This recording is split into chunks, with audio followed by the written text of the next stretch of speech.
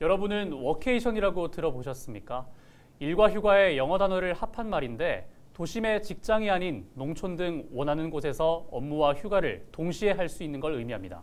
코로나19가 한창 유행했을 때 재택근무 또 원격근무가 늘면서 수요가 많았는데요. 수도권 등 도시에 있는 기업이나 단체들이 지역을 찾으면서 농촌의 휴양 체험 마을에도 긍정적인 효과가 나타나고 있습니다. 홍하영 기자의 보도입니다. 폐교를 농촌 휴양 체험 마을로 운영하던 의성 만경촌. 코로나19가 급격히 확산될 당시 경영난을 겪었던 이곳은 지난 2021년 직원이 농촌에서 휴양하면서 일하는 경북 힐링 워크 사업 1호 마을로 선정되면서 분위기가 달라졌습니다.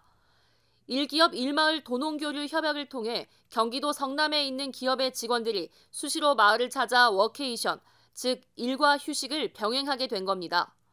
최근 코로나19 유행이 꺾이면서 워케이션은 줄었지만 다녀간 사람들의 긍정적인 평가에 홍보 효과를 톡톡히 누리고 있습니다.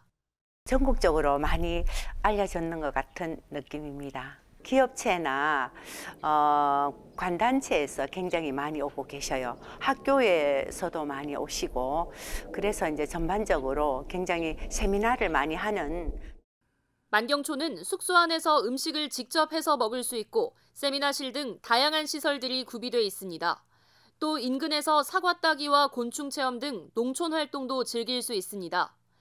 시설과 서비스의 질이 높아지면서 사람들의 발길이 이어졌고 지난해 12월에는 농축산부와 농어촌공사의 농촌 체험마을 평가에서 체험과 음식, 숙박 등 3개 부문 1등급을 받아 으뜸촌으로 선정됐습니다. 전국에서 23곳이 선정됐는데 경북에서는 만경촌 한 곳밖에 없습니다. 지금도 세미나와 농촌 활동에 대한 수요에 이미 8월까지 예약이 거의 찬 상황입니다. 근무뿐만 아니라 이제 저희 체험 휴양 마을이 이제 휴양의 공간으로도 충분히 메리트가 있기 때문에 사업을 조금 더 확장을 하려고 합니다. 예, 그분들이 오시면 그 인근 지역에까지 한번 오셨다가 두루두루 다녀보실 수도 있으시니까요. 지역 경제에도 충분히 도움이 되죠. 코로나19로 인한 경영 위기를 극복하기 위해 시작한 기업 연계 힐링워크가 코로나19 둔화 이후에도 지역에 긍정적인 영향을 주고 있습니다. 헬로티비 뉴스 홍아영입니다.